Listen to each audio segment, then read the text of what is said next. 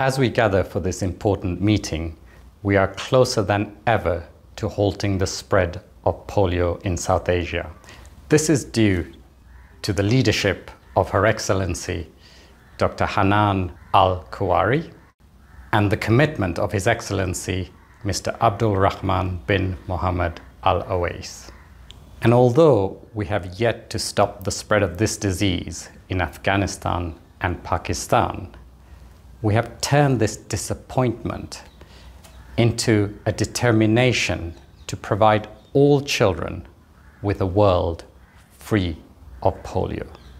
Pivoting our polio program is key to that success.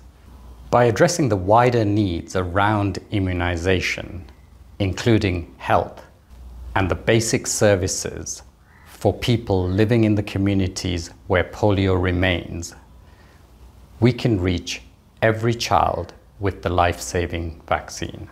But we can only do it with our frontline community health workers, most of whom are women. So let us ensure that they're protected and empowered and well compensated for the courageous work they do. And what a debt of gratitude we owe them. And as we continue our efforts, let me thank the outgoing director for the Eastern Mediterranean region, Dr. Ahmed Al-Mandhari.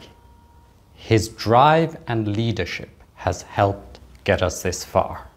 And let me also underline UNICEF's strong commitment to work with all of you to support our teams in Pakistan and Afghanistan, and to do whatever it takes to rid these countries of the wild polio virus. Thank you.